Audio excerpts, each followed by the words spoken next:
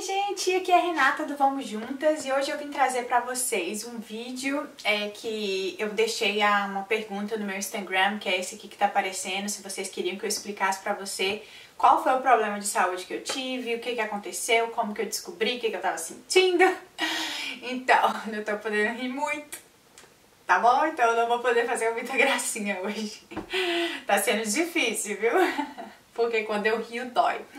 Mas eu vou explicar pra vocês, porque como a gente aqui, a maioria, a grande maioria das pessoas que me acompanham pelo Vamos Juntas é mulher, então como me pegou de surpresa, eu acho que vai ser muito interessante pra você também. Mas vamos lá, eu acabei de chegar do médico, é, só fiz responder uns e-mails, é, se você não sabe, estamos tendo o Vamos Juntas em novembro, vai ser um desafio seca barriga aí, onde eu vou estar bem pertinho de vocês em novembro. Eu vou deixar o link do vídeo aí embaixo para vocês assistirem, para ver o que, que vocês precisam fazer para participar. Mas então tá, como que começou essa tudo, né? Desde alguns meses atrás, que eu olho para trás e vejo algumas coisas que eu tava sentindo, eu vejo que faz sentido a, o resultado e o que, que aconteceu. E eu podia ter percebido antes, sabe? Eu podia ter me tocado antes, mas eu não me toquei. Então vamos lá, o que, que eu tava sentindo? Alguns meses já, é, eu vinha, por exemplo, tava limpando a casa, tava andando, tava dirigindo, eu tava fazendo alguma coisa, eu sentia uma, uma visgada. Fisgada ou visgada? Eu sentia uma pulsada, que eu não lembro como é que fala direito. Aqui assim, como se fosse num, num nervo aqui assim, sabe? Comecei sentindo essa, assim, essa, essa impulsão, essa visgada, e eu ainda pensei, nossa, será que eu tô com problema de apendicite? Só que apendicite dói, né? Vai piorando, piorando, piorando. E aí não piorou nem nada e tudo bem. Aí sentia hoje, daqui uns três dias eu vinha de novo, depois sumia por uma semana e sentia essa puxada, essa visgada, ou fisgada. Ah, foi uma das coisas que começou a acontecer já há algum tempo. Outras vezes eu tava, por exemplo, aqui gravando vídeo, eu tava cozinhando, fazendo alguma coisa e me dava uma cólica, assim, muito braba, sabe? E eu curvava, assim, que eu tinha pra segurar a dor, aquela dorzona bem forte, mas eu achava que era cólica intestinal, alguma coisa que eu comia. Eu como muita fibra e quando você come muita fibra você tem muito gás. Ai, gente. Pausa. Então eu falei, ah, pode ser a, é, por causa da minha alimentação mesmo, e era bem assim no pé da barriga. E tudo bem. Ah, aí outra coisa que eu comecei a observar é que assim, eu tinha engordado um período e eu emagreci. Eu emagreci, mas eu fiquei com um bumpzinho aqui assim, é, maior do que o normal, sabe? Minha barriga nunca foi aquela barriga assim, tá, bolizona pra dentro. Eu emagreço, eu emagreço assim, tudo e esse bump não tá sumindo. E esse bump não tá sumindo e tal. E achei, achava esquisito, mas assim, gente, eu não tava nem pensando que podia ser alguma coisa na saúde, nem nada. Aí, essa foi outra coisa. Outra coisa é que quando eu deitava, eu olhava a minha barriga, eu percebia que o meu lado direito estava um pouco maior que o meu lado esquerdo. Tava meio torta a minha barriga. É muito esquisito assim, mas hoje faz sentido, sabe? Mas quando eu olhava, eu falava assim, ah, gente, é porque tem mais gordura de um lado que do outro, mas nunca pensei que, que podia ser. Aí tudo bem, quando foi mês passado, em setembro, no meu período, quando meu período chegou, eu senti muita cólica, cara, muita cólica. E eu sentia muita cólica quando eu era adolescente. E eu falei, nossa, cara, que cólica brava que eu tô sentindo. E eu sentia muita dor nas pernas, dor aqui atrás, assim. Aquela dor terrível. E eu ainda falei com meu marido, eu falei, nossa, baby, eu acho que faz tanto tempo que eu não tenho cólica que agora que eu tô tendo eu tô estranhando. Porque eu lembro que quando eu sentia cólica eu, eu sofria muito, muito. Mas era tipo assim, um ou dois dias e passava. Um dia eu tomava Buscopan na época e passava. Só que dessa vez não passou. A dor só ia ficando, tava piorando assim. Isso foi dia 29 de setembro, que começaram essas dores nas pernas, no, exatamente no dia que chegou a menstruação. Ah, se me azeitar. Aí, é... Aí... Tá difícil achar um, um coisa. Pronto, acho que agora achei. Aí é, eu sentia, tava sentindo essas dores nas pernas, inclusive, aí tá, o meu período foi embora e eu falei, ah, quando for embora minha, minha coisa vai melhorar, essa, essa dor nas pernas vai melhorar. Só que aí, além das pernas, eu comecei a sentir muito meu ciático, sabe? Comecei muito a sentir aqui no, no mesmo, sabe? Muito aqui, assim, do lado direito. E aí um dia eu tava pegando, falei, nossa, e minha sogra falou, hey, isso é o ciático. Falei, nossa, eu falei assim, será que eu machuquei? E eu tava fazendo pilates, não em casa, fazendo pilates em, em estúdio mesmo de pilates. Eu falei, será que eu machuquei no pilates? E é suposto o pilates ajudar, né? Tipo, não machucar mais. E eu falei, gente, e fiquei com isso intrigada, tanto que eu não fui mais pra, não, não fui mais pra aula de pilates. E aí eu falei assim, nossa, pode, eu não tô entendendo. Aí essa dor começou a ser aqui, ó, aqui em cima, nessa nessa área aqui, ó, bem aqui, assim, sabe quando você tá grávida que você anda assim? Pois é. Meu sogro ainda falou comigo, nossa, parece que você ganhou neném, que eu segurava aqui de tanta dor e para respirar tava horrível.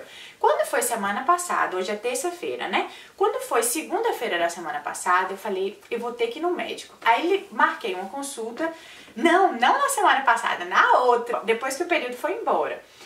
Aí eu marquei com a, a médica a minha médica não tinha horário, fui atendida por uma enfermeira e ela foi falar, você pode estar com problema no ciático e tal. Aí ela mandou deitar. Quando ela mandou deitar, não, gente, isso foi semana passada, eu tô meio confusa, assim. Mas foi semana passada, que foi quando eu fui pro hospital. Que foi quando. É isso mesmo. Aí ela. Não, não foi, foi na outra. Na outra semana, escuta, entende. Então, é, há duas semanas atrás eu fui e ela pediu um raio-x do quadril para poder dar uma olhadinha se meu ciático tava é, inflamado e deu uma olhada no. Ah tá, aí ela mandou deitar, né? Ela foi, apertou minhas costas, eu sentia muita dor aqui. Eu falei pra ela, nossa, tá doendo demais, tô conseguindo nem respirar direito. Ela falou, então, ah, ok. Ela examinou minhas costas e tal e mandou deitar. E eu não tava com febre, eu não tava com, é, com nada assim é, as minhas funções estavam normais. É, tipo de pressão, é, é, oxigênio e tal. Aí ela foi e mandou deitar. Quando ela mandou ela deitar, uh, quando ela mandou deitar, ela apertou aqui assim, ó, aqui embaixo da minha costela. Caraca, quando ela apertou embaixo da costela, eu dei um pulo. Mas eu achei estranho porque aqui não tava doendo. Aí ela, ei, que isso? Aí eu falei assim, eu não sei, eu não tava com essa dor. Aí ela apertou de novo, eu dei outro pulo. E ela apertou do lado de cá, eu não senti nada. Aí quando foi do de cá, doeu de novo. Aí ela foi e falou assim, você pode estar tá com Glaubetter. Aí ela ainda falou em inglês, eu, eu não entendi o que que era. Aí eu botei pra ela escrever, que eu nunca tinha ouvido falar nesse, nesse órgão em inglês. Aí ela botou e eu vi vesícula biliar. Aí eu falei, ó, oh, pode ser pedra na vesícula, pedra nos rins. E, inclusive ela tinha feito o exame de, de urina, deu nada nos rins, porque a dor nos rins é aqui também, né? E não deu nada. Aí ela pediu um raio-x das costas para poder ver se eu tava com Lyme disease, que é aquela doença do carrapato. Que um dos sintomas também é isso. Aí tudo bem, fui, vai eu pro hospital, faço as ultrassom, faço as, as, os raio-x e nada. Aí ela me ligou de volta. Ela falou: Olha, você não tem nada, não achamos nada, nenhum problema. Você precisa só ir. Como é que fala? É, não, tipo assim, um médico de massagem, assim, só que ele é médico mesmo. Então, é como se fosse um fisioterapeuta. Só que você precisa fazer fisioterapia, assim, mas não é muito fisioterapia, é mais massagens, assim, com um especialista e tal. E aí ele vai tirar os nós, você tá com muito nó, porque eu sentia muita dor nas pernas e nas costas, eu acho que os meus nervos todos estavam travados. Aí tudo bem, isso foi na segunda-feira, há duas semanas atrás. Quando foi na sexta-feira dessa mesma semana, eu comecei a sentir muita, muito mais dor nas costas. E falava, gente, só pode ter alguma coisa errada. Eu não conseguia andar direito. E foi um final de semana que a gente ainda saiu e eu dirigi é, por algum tempo. Para dirigir tava ruim, porque é com a perna direita aqui, né, que faz, que aperta o, os pedais. E eu falei, nossa, eu não tô aguentando. Aí passou sábado, passou domingo. Mas assim, eu tava sentindo dor, mas eu tava assim, ah, Renata, tava de frescura. Aí eu tomei, eu achei que era dor muscular, que eu tinha realmente machucado no, no Pilates, mas não passava dor. Aí quando foi na sexta, na segunda-feira, eu falei com meu marido, baby, vou ter que ir de novo no médico. Eu não quero ir, mas eu vou ter que ir, porque eu não estou aguentando mais de dor. Lá fui eu, voltei pra médica de novo. Aí ela. Ah, tá. E foi aí que ela suspeitou daqui. Nessa primeira etapa, ela só fez, ela só fez o isso mesmo, nessa primeira etapa ela só fez o raio-x do quadril e daqui para ver se era Lyme disease ou ciático. Aí não deu nada, ela mandou eu descansar. Agora, dessa vez, que eu já voltei com muito mais dor nas costas, foi que ela pegou aqui e eu senti dor. Exatamente, que é uma semana atrás. Aí ela falou, você pode estar tá tendo uma pedra na sua vesícula e tal, porque o seu rim não tem nada. Aí ela pegou e me encaminhou para o hospital para poder fazer raio-x e ultrassonografia do, é, do daqui de baixo, né, da, da vesícula. Aí eu não consegui vaga. Ah tá, eu ia fazer no lugar normal. Aí eu só consegui vaga pro outro dia de manhã. E eu voltei pra casa com muita dor. Aí ela me liga, uma hora da tarde, na segunda-feira passada, ela me liga e fala assim, Renata, vai pro hospital, não espera até amanhã, porque se sua vesícula tiver com pedra ou sei lá o que, você tem que fazer cirurgia meio que urgente e tal. Então não espera até amanhã, que ela viu no meu recorde que eu só tinha conseguido vaga pro outro dia. Lá foi eu. Aí eu fui sozinha pro hospital, meu marido até foi levar as crianças para alguma coisa, para alguma atividade, e eu fui pro hospital. Falei, ah, vou, vou voltar pra casa rapidinho, eles vão me medicar e tal, mas eu não tava aguentando mais de dor. Segunda-feira passada. Aí eles foram, me deram a. Aí tiraram raio-x, aí eu já fui pra emergência. Aí eu já cheguei, eu já tava bem assim, muita dor, acho que eu tava muito pálida também. Aí eles já botaram, tô toda furada, eles botaram o. A. Eles botaram o soro já em mim. E aí começou aquele tanto de pergunta e eu dei entrada lá como sendo problema na vesícula, porque a médica já tinha mandado o histórico, falou que era urgente, não sei o quê. Então eles foram, checaram, fizeram ultrassom e não deu nada. E fizeram exame de sangue, exame de urina, nenhuma alteração. E eu me bati, gente, era tanta dor que eu sentia eu não conseguia respirar e eu segurava assim, eu me batia assim na maca. Foi muito engraçado, porque eu tava sozinha, né? E eu, Renata, você é forte, você já botou um menino pra fora, sem anestesia. E eu ficava lá, não, você tá bem, você tá bem, você tá bem. O médico chegou, a médica chegou, fez aquele monte de pergunta, meu marido ainda não tinha chegado, tava esperando minha sogra chegar pra ficar com as crianças e ele poder encontrar comigo no hospital. E eu tô lá, a fortuna, né? Aí daqui a pouco a mulher fez um monte de pergunta. Aí ela voltou com uma máquina. E é, todas as coisas que a médica falava pra ela, pra ela poder checar, eu entendia. Só que ela, a médica falou uma coisa com a enfermeira que tava cuidando de mim, falou, ó, checa tal coisa, que eu também nem lembro o nome em inglês. E eu fiquei, o que, que é isso, gente? E aí ela tava com aquela dor, né, na perna, nas costas e falta de ar, e me bateram na, maca, que eu não aguentei. Gente, eu segurava assim, ó, eu não consigo nem imitar. Isso aqui, meu, batia. E depois eles falaram que era por causa da dor, era, era a forma que o meu corpo estava reagindo pra dor. Aí ela saiu e saíram as duas e voltou a, a enfermeira com, com uma máquina desse tamanho, né? Eu falei, nossa, que negócio grande. Aí a enfermeira falou assim, ai Renata, eu sei que você, é, assim, tá preocupada e tal, mas a gente vai fazer um teste em você agora. E eu já comecei, Deus, o que, que é que essa mulher vai fazer? Já tinha tirado sangue, já tinha dado urina, já tinha um monte de coisa. A gente vai fazer um teste em você, porque como você já tem 35 anos, você entra na, na, no risco e não sei o que e tal, e você tá com alguns sintomas. Eu falei, nossa, o que que tá acontecendo? Fala logo, né? Aí ela falou, sim. Eu falei, aí eu brinquei com ela, né? Eu falei, é, você tá quase me dando um ataque cardíaco, porque ela falou assim, ela, Pois é, exatamente isso que a gente quer checar. A gente quer ver se você tá tendo um ataque cardíaco. Aí eu, oh my god, calma Renata, calma Renata. Mas aí eu fui respirando e respirando. Aí ela me botou um monte de fio, um monte de coisa. Eu falei, mas pelo amor de Deus, você vai me dar esse resultado agora. Porque normalmente vai o exame de sangue, depois volta, né? Aí ela, não, não, a gente já vai saber agora. Se você estiver tendo, a gente já vai saber agora. Eu brinquei com ela, falei, se eu não tiver tendo, eu vou ter de tanta pressão que você tá me dando. Aí ela brincou, né? Não, não, a gente tem quase certeza que você não tem, mas é só pra make sure que todas as coisas a gente vai ver, não sei o que, tudo bem. Foi lá e é, deu nada. Aí a, a, enfermeira tinha marcado, era tomografia, não era ultrassom pro próximo dia, né? Aí, quando foi no hospital, eu, eu tinha falado ultrassom, mas foi a tomografia que ia ser no outro dia de manhã, que aí ela quis que eu fosse pro hospital logo e tal. Aí a, eles fizeram ultrassonografia, fizeram raio-x dessa área e não acharam nada. Mas a dor tinha, e eu falava, e o meu, meu medo era o quê? Era voltar pra casa e tipo assim, não, você não tem nada. Gente, será que eu tô estressada? Será que eu tô com, com o quê? Que ninguém descobre o que que é. Aí ela foi me deu morfina. Gente, que remédio horrível. É assim, quem precisa tomar isso. Nossa, eu olha, Deus abençoe essas pessoas, viu? Quando ela aplicou a morfina na minha veia, é como se meu, meu pescoço se entrasse para dentro dos meus ombros. Era uma pressão terrível. E isso era mais ou menos, acho que uns 60 segundos, sabe? Aí ela foi e aplicou a morfina e eu já. Ah, relax. Falei, não, agora eu tô de boa. Tipo assim, porque a, a dor sanou, né? Só que, aí meu marido já tava comigo, ele já tinha chegado, e esse, todos esses, esses exames já foram feitos com ele comigo.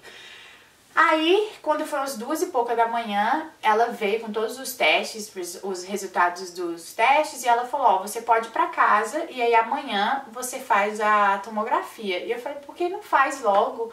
Aí ela falou, não, porque por causa de coisa de plano de saúde vai ficar muito mais caro se a gente fizer hoje e tem um limite que você que pode gastar no plano de saúde, então é melhor você fazer amanhã e tal. Aí ela explicou, eu falei, ah, tudo bem. Aí quando eu voltei pra casa, eram as 3 horas da manhã. Quando foi 7h20, eu já tava lá no lugar fazendo o exame, a tomografia. Aí eles fizeram a tomografia daqui, debaixo do peito, até aqui embaixo, assim, no cos da calça, até abaixo do cos da calça. Aí tudo bem, quando foi umas duas horas depois, o hospital me liga. Ó, oh, a gente já tá com o seu resultado, você tá com... E, e, o medo, né? Morrendo de medo desse resultado, o que, que é que tá causando essa dor, meu Deus, e tal. Ela falou, ó, oh, você tá com cisto rompido. A gente viu um líquido e o seu cisto tá rompido na sua... Na sua... No seu ovário. E eu... Cara, eu nem lembrava que eu tinha ovário. Primeiro.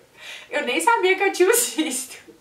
E muito menos que esse cisto podia romper. Foi tudo assim na mesma hora. Eu falei, e agora? Eu falei, agora você vai ter que ver a médica. Lá fui eu de novo pra médica, a médica explicou e tal, mesma coisa. Isso vai passar, a dor, muitas mulheres falam que dói mais do que um parto normal. Eu não senti, tá, gente? O meu parto normal doeu mais do que essas dores, mas foi a segunda dor maior que eu já senti na vida. Aí tudo bem, ela foi e falou, agora você precisa repousar, 100% de repouso, ficar quietinha e tal. Aí esperar a dor passar. Quando foi na sexta-feira, hoje é terça, quando foi sexta-feira passado, eu não tava aguentando mais de dor nas costas. Eu falei, gente, eu não aguento mais a dor, não aguento mais a dor e tal. E eu só tava tomando Tylenol com ibuprofen, então não tava fazendo efeito, assim, pra, pra dor que eu tava sentindo. Tipo, a morfina conseguiu controlar a dor por umas duas horas. Imagino, tipo, Tylenol não tava fazendo nada, era a mesma coisa de beber água. Quando foi sexta, eu tava aguentando. A minha médica, volta aqui. Aí minha médica foi, me examinou. E aí ela falou, olha, você vai precisar ir pro hospital de novo porque pode ser que o seu, seu ovário virou, sei lá como é que é a a palavra certa. Aí eu lá vou eu de novo pro hospital. Fui pro hospital, fizeram outra sonografia interna e aí eles viram que não, que não tava. Mas aí o que que acontece? Eles viram o líquido, o líquido era sangue e eles falaram que o é, o cisto continua no ovário, só que tá sangrando. É como se um vaso tivesse rompido, mas não deu assim, hemorragia interna nem nada. Então, por isso que as dores não cessam, não cessavam. Aí eu falei, ah, faz sentido. Ela, aí a médica voltou e falou, ó, oh, você não pode ficar tomando. Ah, não. Aí ela pegou e falou, ó, a gente vai ver o que, que vai fazer, se vai ter que tirar esse cisto, se não vai, qual o tamanho, não sei o quê. Aí ligou para o especialista. O especialista falou, não, ela pode ir para casa é, passar o final de semana e na segunda ou terça vai ter que ver o especialista para ver qual vai ser o procedimento. Aí ela me deu um remédio mais forte, foi muito engraçado, porque quando ela me deu continuar o ibuprofen e quando ela me deu o remédio mais forte, ela falou: "Olha, você tem que guardar esse remédio muito bem guardado, porque muitas pessoas roubam esse remédio". É um remédio, é um narcótico mesmo, é uma droga o remédio. Eu odiei a sensação, porque você fica, gente, eu falo, como que alguém consegue, sabe? Você perde totalmente, assim, o sentido, sabe? Horrível. Aí, depois, era pra tomar dois, né? Acabou que eu tomei um, assim, dois de vez, a cada seis horas. Acabou que eu tomei de sexta pra hoje, que é terça, eu tomei uns dois dias, um só. Porque eu falei, não, eu prefiro abaixar um pouco e não tomar forte por causa dos, dos da sensação horrível. Aí, quando foi hoje, então, né, terminando essa história, vou, consegui marcar hoje com um especialista. Inclusive, gente, quando eu entrei na porta do, da clínica, a uma moça estava sentada, a moça me olhou assim, né, eu falei, oi, eu tô meio perdida e tal. É a minha primeira vez que eu tô aqui, ainda falei inglês com ela e ela, eu sigo você. Aí eu, oh, meu Deus, sério? Falei, cara, que coincidência. Ela acompanha o Vamos Juntas, o nome dela é Jéssica. Beijo, Jéssica. E ela foi quem me atendeu na, na entrada, que me deu os papéis e tal. Foi muito bacana eu ter encontrado ela lá. É, aí a gente conversou um pouquinho, aí já me passou pro médico, e era um médico homem, que eu não gosto de fazer esse tipo de exame com homem, tanto que eu não fiz o exame. Eu me fiz de besta e não, e não tirei a parte de baixo, mas também, eu acho que nem precisava, porque ele também não pediu. Só a enfermeira que tinha pedido eu não fiz. Aí, é... Aí tudo bem, eu fiz o exame, ele pegou e falou que o cisto é pequeno, falou aquilo tudo que já tinha sido dito por ele, ou por ele, ou pelo outro especialista na sexta-feira. E eu falei, perguntei se as dores iam melhorar, e ele, o tratamento que ele fez foi tomar uma semana é, anticoncepcional. E eu, eu só tomei anticoncepcional, gente, quando eu fui casar, um mês antes do casamento. Mesmo assim, o meu corpo não adaptou. Então eu falei pra ele que eu nunca tomei anticoncepcional, assim, quando eu tomei eu passei muito mal e tal. Aí ele pegou e passou um fraquinho, mas ele falou que é, dessa forma o meu ovário ia, tipo assim, parar de trabalhar, então o cisto podia, né, sumir e parar o sangramento. E aí, se isso for, se fosse esse mesmo caso, logo eu já vou ver melhoras nas dores da costa, nas dores da perna.